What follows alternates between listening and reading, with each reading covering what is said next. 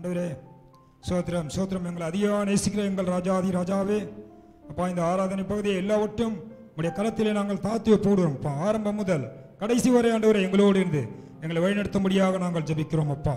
அல்லேலூயா சோத்திரம் ஆண்டவரே. இஸ்ரவேல் ஜனத்தை மோசையை அழைத்து ஆண்டவரே இந்த ஜனங்களை நீ நடத்தி என்று சொல்லும்போது ஆண்டவரே நான் மந்தனாவும் திக்குனாவுமாய் உள்ளேன்.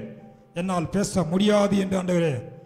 சோத்திரம் அப்பா என்னால் பேச முடியாது என்று ஆண்டவர் பார்த்து மோசே சொல்லும்போது நீ பேச வேண்டாம். உனக்கு பதிலாக ஆரோனை அனுப்புகிறேன் என்று ஆண்டவரே சொல்லும்போது ஆண்டவரே நாங்களும் ஆண்டவரே எங்களுக்கு ஆரோன் வேண்டாம் மோசை வேண்டாம். எங்களோடு நீர் ஒருவர் மாத்திரம் இருந்து அப்பா எங்கள் வாயோடு வாயாக நாவோடு நாவாக இருந்து ஆண்டவரே எங்களை வழிநடத்தும்படியாக நாங்கள் ஜெபிக்கிறோம் அப்பா. ஏசு கிறிஸ்து நாமத்தின் மூலம் ஜபிக்கிறேன். எங்கள் ஜீவனில் நல்ல பிதாவே. ஆமே நாம் எழுந்து நின்று சங்கீத பகுதியை வாசிப்போம்.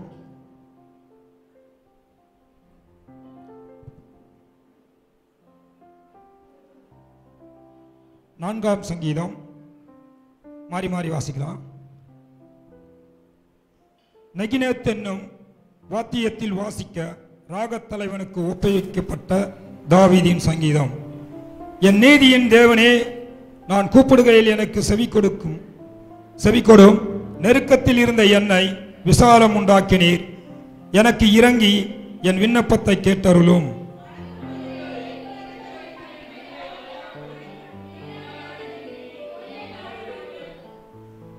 பக்தியுள்ளவனை கர்த்தர் தமக்காக தெரிந்து கொண்டார்.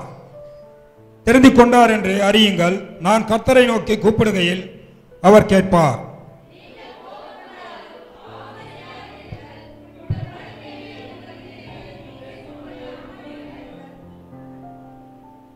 நீதியின் பலிகளை செலுத்தி கர்த்தர் என் மே- கர்த்தர் மேல் நம்பிக்கையாயிருங்கள்.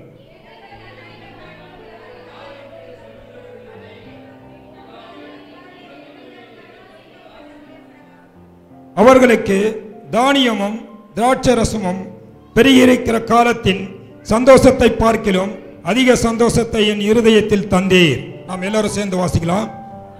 சமாதானத்தோடு படுத்துக்கொண்டு நித்திரை செய்வேன். கர்த்தாவே நீர் ஒருவரே என்னை சுகமாய் தாங்க பண்ணீர். போன வாரத்தில் அஞ்சாவது வருஷத்துலேயும் அதே மாதிரி தான் ஆண்டு சொன்னாரு நான் படுத்துக்கொண்டு நித்திரை செய்தேன். கர்த்தர் இன்னும் இருந்தார். உட்காருங்க உட்காருங்க.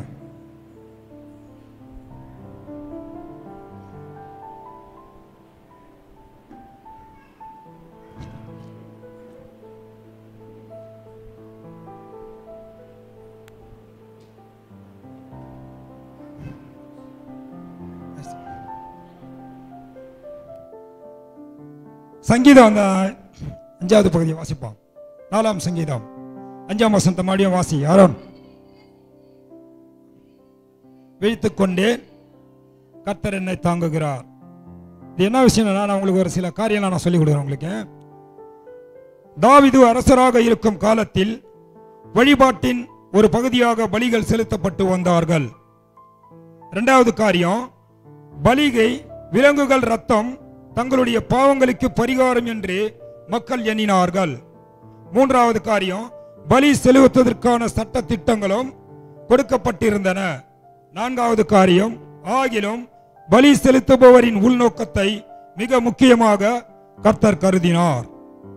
என்- இருக்கும் இருக்கும்போது என்ன பண்ணனா எல்லாத்துக்கும் ஏற்ற பதிகளை ஆண்டவருக்காக செலுத்தணும்னு சொல்லிட்டு என்ன பண்ண நிறைய சட்டங்களை என்ன பண்ணியிருந்தாங்க போட்டு வச்சிருந்தாங்க. அப்போ என்ன பண்ணுறாங்கன்னா இந்த ஆடு மாடு இது எல்லாத்தையும் எடுத்துனோம்னா நம்ம ஏதாவது ஏதாவது தப்பு பண்ணிட்டோம்னாக்கா ஆண்டவரே நான் ஒரு தவறு செய்துட்டேன். அதற்காக நான் என்ன பண்ண போகிறேன் உங்கள்கிட்ட வந்து நான் ஒரு பலி செலுத்த போகிறேன்னு சொல்லிட்டு ஒரு ஆடோ இல்லை ஒரு மாடோ ஏதோ ஒன்று எடுத்துன்னு வந்து என்ன பண்ணுவாங்க ஒரு புறாவை எடுத்துன்னு வந்து என்ன பண்ணுவாங்க அதை அறுத்து ஆண்டவர்கிட்ட பலி செலுத்தி ஆண்டவரே என் பாவங்களை நீங்கள் மன்னிங்கப்பா அப்படின்னு சொல்லிட்டு என்ன பண்ணுவாங்க பலிகளை செலுத்துவாங்க. ஆனால் இந்த பலியை பார்க்கணும். இன்னொரு பெரிய காரியம் ஒன்று நான் சொல்லித்தரேன் உங்களுக்கு. ஒன்று சாமுவேல் பதினைந்தாம் அதிகாரம் இருபத்தி ரெண்டு இருபத்தி மூணு வாசிப்போம். ஆரோன் மைக்கில் வாசி ஆரோன். பொறுமையா வாசி எல்லாருக்கும் புரியுற மாதிரி.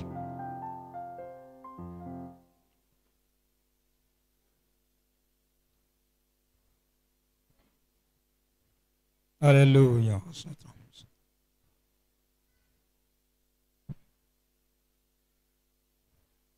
ஒன்று சாமுவேல் பதினைந்தாம் அதிகாரம் இருபத்தி ரெண்டு இருபத்தி மூணு அதற்கு சாமுவேல் கர்த்தருடைய சத்தத்திற்கு கீழ்ப்படுகிறதை பார்க்கிலும் சர்வாங்க தகனங்களும் பலிகளும் கர்த்தருக்கு பிரியமா இருக்குமோ? பலியை பார்க்கிலும். கீழ்ப்படிதலும் ஆட்டு கடாக்களின் நினத்தை பார்க்கிலும் ஆ. செவிகொடுத்தலும் உத்தமம். ஓகே. இருபத்தி மூணு படி அப்படியே. இரண்டாவது ரெண்டகம் பண்ணுதல் ஆ. பில்லி சூனியம் பாவத்திற்கும் முரட்டாட்டம் பண்ணுதல் அவபக்திக்கும். விக்கிரகாராதனைக்கும். சரியா இருக்கிறது ஓகே போதும். ஆண்டவர் சாமுவேலை பார்த்து சாமுவேல் என்ன பண்ற சாமுவேல் என்ன பண்றாரு? சவுலை பார்த்து சொல்றாரு. சவுலே பலிகளை செலுத்துவதை பார்க்கிலும் ஆ சொல்றாரு ஆண்டு சொல்றாரு. எது? நீ என்ன பலி செலுத்த போற? தகன பலியா? அல்லது அன்பளிப்பா? அல்ல கர்த்தருடைய கட்டளைக்கு கீழ்ப்படிய போகிறியா? அப்படி என்ன பண்றாரு? சவுலை பார்த்து கேட்கிறாரு சாமியில் சவுலை பார்த்து கேட்குறாரு நீ பலி செலுத்த போறியா? இல்லை ஆண்டவருக்கு அன்பளிப்பு கொடுக்க போறியா? இல்லை கீழ்ப்படிய போறியா? இல்லை செவி கொடுக்க போறியா? அப்படின்னு கேட்குறாரு மறுபடியும் அவரே பதில சொல்றாரு. சொல்றாரு நீ நீ கீழ்ப்படியாமானா? செவி கொடுக்க அதான் செவி கொடுத்தனா?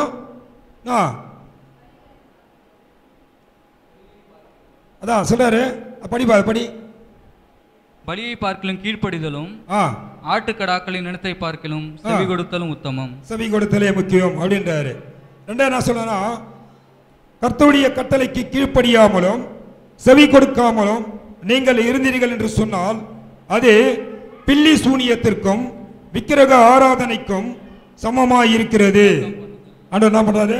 காது கேட்கலாம். அதாவது காது செவி கொடுக்கலனாலும் கீழ்ப்படினாலும் நீங்க பண்ற காரியம் ஒவ்வொன்றும் எப்படின்னாக்கா பில்லி சூனியம் வைப்பதற்கும் விக்கிரக ஆராதனை செய்வதற்கும் சமமாக இருக்கிறது என்று என்ன பண்றாரு? அவர் சொல்றார் சாமியல் சொல்றாரு அவர் பார்த்து. ஆனா இது எல்லாத்துக்கும் மேல இன்னும் ஒண்ணுக்கு இது. ஓகேவா எபிரேயர் பதிமூணு பதினஞ்சு வாசிப்போம். ஆகையால் அவருடைய நாமத்தை துதிக்கும் உதடுகளின் கனியாகிய சோத்திர பலியை. அவர் மூலமாய் எப்பொழுதும் தேவனுக்கு செலுத்த கடவும் அவருக்கு செலுத்த கடவும் ஓகே. என்ன சொல்றாரு? நீங்க என்ன பண்ணீங்க? கீழ்ப்படிய வேண்டாம். செவி கொடுக்கவும் வேண்டாம். பலி ஆடு மாடு ஒண்ணுமே எனக்கு கூட செய்யாதீங்க. ஆனா மனசார உங்க வாயில என்ன சொல்றாரு? உதடுகளின் ஸ்தோத்திர பலிகளை எனக்கு செலுத்துங்க அப்படின்றாரு. என்ன சொல்றாரு? எதை செலுத்தணுமா?